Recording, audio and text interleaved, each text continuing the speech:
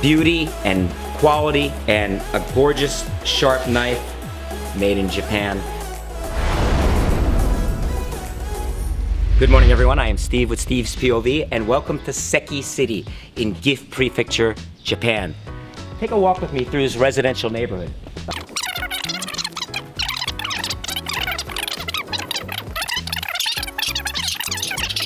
I think that this is a home, this is just another home in a residential neighborhood. No, no, no. What you have right here, no sign outside, nothing to mark what it is, is a high-end, no quantity, high quality knife manufacturer named Sanetsu Hamono. Sanetsu Hamono means knife. Comes from the days of the swords and katana. And this country, this company has been doing this for over 50 years. Right here, no sign outside, no nothing. But when you get inside, you're gonna see what a very small company is world renowned for making. Some of the highest end cutlery that you can ever imagine. Let's get inside and check out Sanetsu Hamono. Come on.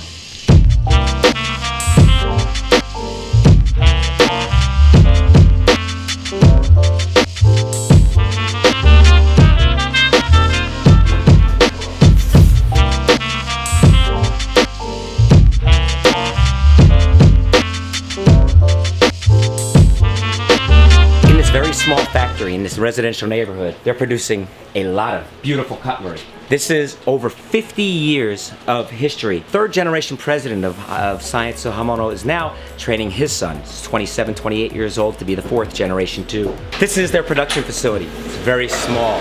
This is no bigger than an average house maybe within this area. But what they're producing here is some of the highest end cutlery in the entire world. You can't look them up on Google. You can't find them on the map. You could walk through this neighborhood maybe a hundred times and never even notice that there's a factory right here. But what? That's kind of cool. In this modern day where there's information and people marketing and putting ads on Google and everything else, not this company. It's all old school here. Totally hand done. Everything produced by hand by the same family, the same way for almost 50 years. And they're making some of the very highest end custom.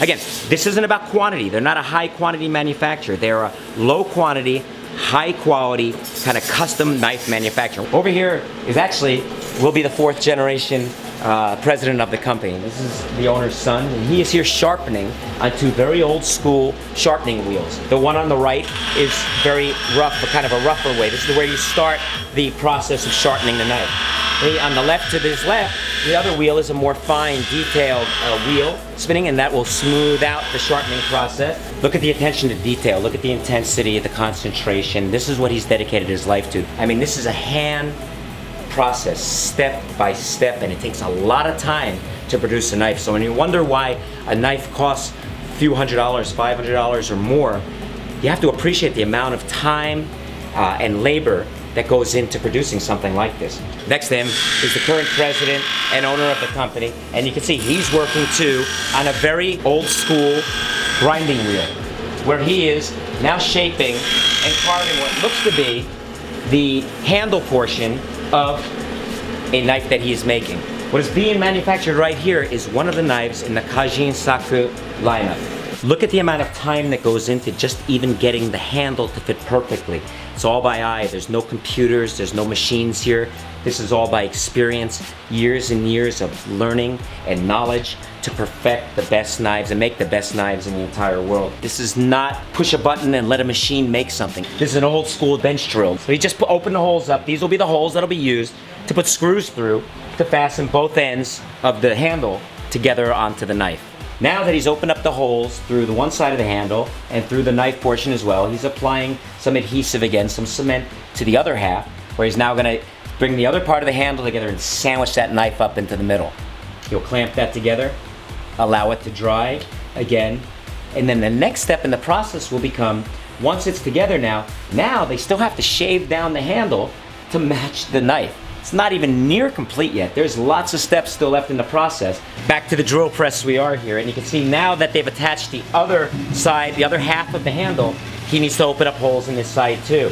After the drill press again, where he went ahead and completed the holes from the original side all the way through to the new, the other half of the handle side, see now, he's actually creating his own pins, these metal rods. He's cutting off pieces, and he's going ahead and he's, he's manually inserting them into the holes, and now hammering them together to create the finished look of the handle.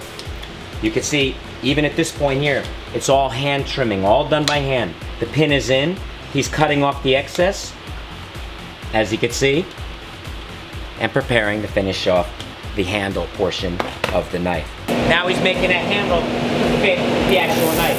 Look at it taking shape. You can see it taking shape right now, slowly but surely. And evening it out with the metal portion of the knife itself, but he's working on the surface as well. And it's amazing. There's no computers involved. He knows it. He's the computer. They wanted to show me just how easy you can actually take a piece of paper. Oh, this is like a, a paper cutter Look at that. You could slice, no effort at all, and I can trim right through this, this paper like that. It's unbelievable how sharp and how effective this is. This is not easy to do. That's the quality that they're manufacturing here. Beauty and quality and a gorgeous sharp knife made in Japan, made right here in Seki City, made right here by Sanetsu So let me introduce you to a special lineup made especially for Yagi by Sanetsu Hamono. These are the lineup called the Kajin Saku. Here is a specialty handmade lineup of knives that is made at a pro level. I mean, these are for chefs or other professional cooks for anywhere uh, around the world. But for you at home too, if you want the best in cutlery, something that will last a lifetime, you should check out this series. No two knives are gonna be the same since they're all handmade every handle, every design, it's gonna have a little bit of difference in it. Why? Because they're handmade, it's not computerized. You can have your own original, beautiful piece of cutlery in these beautiful boxes, by the way, they come in these presentation boxes containing this beautiful uh, packaged knife for gifts, for yourself, for friends, for the chef in your family, for the aspiring chef in your family, why not check out one of these? You can't come to Japan and just necessarily show up at the door of a place like this and buy one of these. But through Yagi Select, you can. They're available to you now. They'll ship all over the world. You sit back and you look at how much time and labor and intensity and dedication it takes to just produce one of these knives. Check out Sanetsu Hamono. And we hope the next generation will take this company another 50 years in the future, still producing beautiful stuff just like this by hand here in Gifu Prefecture, Seki City. Thumbs up.